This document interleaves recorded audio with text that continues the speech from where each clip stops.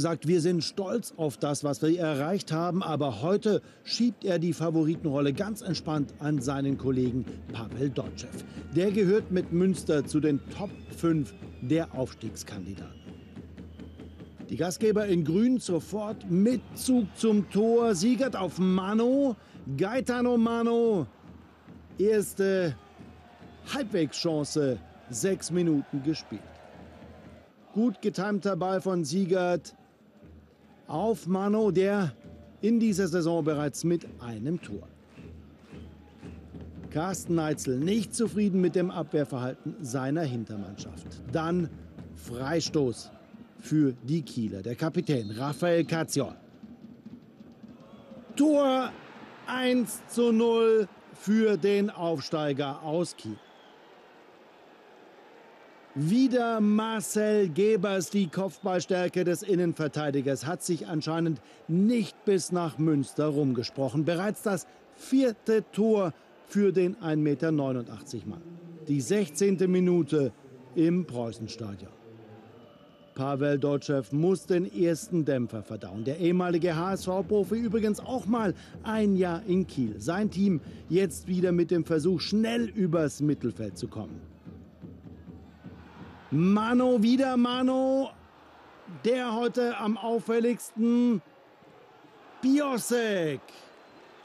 Da war viel Platz und wenig Übersicht bei den Gastgebern. Die Kieler aber insgesamt sehr gut aufgestellt. Dann geht's richtig schnell. Wetter, Heider. 2 zu 0. Was ist denn hier los? Der Aufsteiger dominiert die Partie und geht verdient in Führung. Die Kieler eindeutig das bessere Team. Fast jeder Schuss ein Treffer. Carsten Neitzel. Entspannt, aber euphorisch, sieht anders aus. Dann Steilpass auf Cazio, der mit der Hacke auf Haider. 3 zu 0, 34. Minute. Was für ein klasse Tor.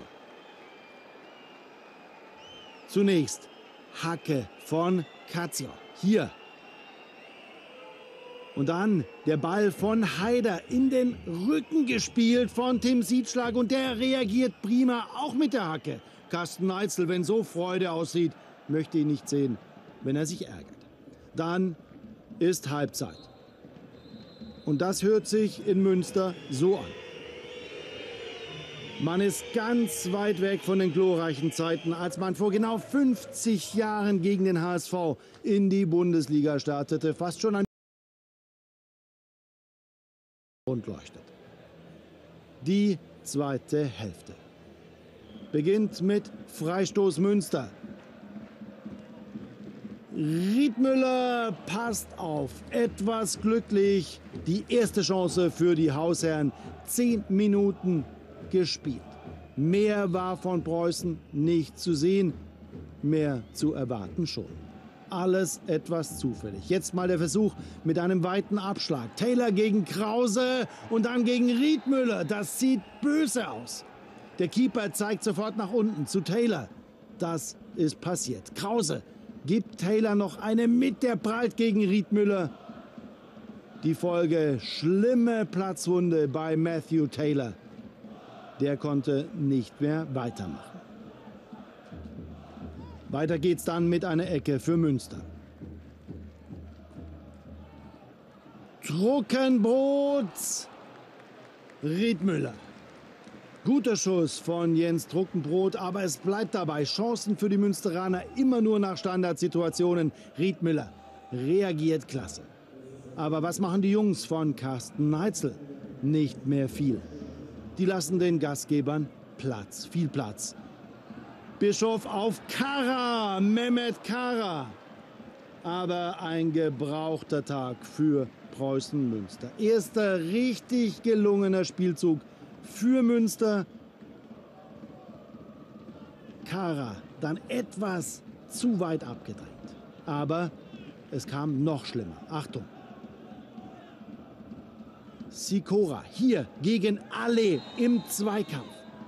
Und Glömo Alle bleibt liegen, wird dann sogar bewusstlos. Hektik bricht aus. Sikora extrem hart gegen den Innenverteidiger, muss mit Gelb noch zufrieden sein.